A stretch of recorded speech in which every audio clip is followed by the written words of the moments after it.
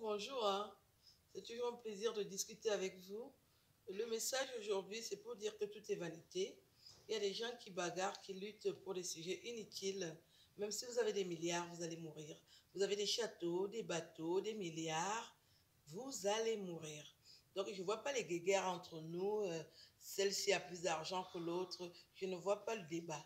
Il est vraiment question que chacun, chacune reste à sa place si tu as de l'argent, si tu peux en donner, donne aux gens. Mais ne pompe pas l'air aux autres parce que nous ne vivons pas dans tes cuisses. Chacun vit chez lui, chacun mène son train de vie. On n'a pas besoin que tu nous pompes l'air tous les jours, que tu as beaucoup d'argent, tu as des sous, parce que tes sous, ils sont à toi.